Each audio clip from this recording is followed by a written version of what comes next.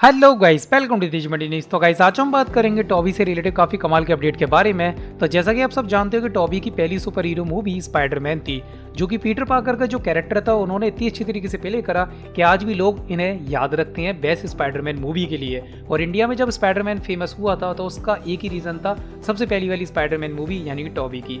तो इनसे रिलेटेड कमाल का अपडेट ये आया है कि टॉबी ने अभी हाल ही में डेडलाइन में इंटरव्यू दिया और उन्होंने रिविल्ड करा कि वो आगे फ्यूचर में एक सुपर हीरो कैरेक्टर का रोल प्ले करने वाले हैं। देन उन्होंने ये बात खुद रिबिल्ड करी। अब सबसे बड़ी बात कि कौन सा सिनेमेटिक यूनिवर्स कौन सा सुपर हीरो तो उन्होंने ऐसा कुछ बताया तो नहीं, पर डीसी और मार्वल ही दो सिनेमेटिक यूनिवर्स जो कि वो सुपर हीरो रोल प्ले करने वाले हैं। पर मेरे हिसाब से जो पहले अपडेट आया था कि स्पाइडरमैन फार फ्रॉम होम में टॉबी अंकल बेन का रोल प्ले करेंगे। तो अगर ये बात सच निकली तो मज़ा आने वाला है। और देन अगर टॉबी किसी सुपर हीरो रोल प्ले करने वाले भी हैं तो वो आगे पता चलेगा। पर उम्मीद करता हूँ कि वो सुपर हीरो अच्छा हो और वो मार्वल का हो, ना कि डीसी का तो आपका क्या मानना है? कमेंट सेक्शन में ज़रूर बताना। तो कैसा लगा अपडेट? कैसा लगा वीडियो? अगर आप ये वीडियो यूट्यूब पे देख रहे हो तो मेरे को सब्सक्राइब करें फेसबुक पे देख रहे हो, पेज को लाइक करें।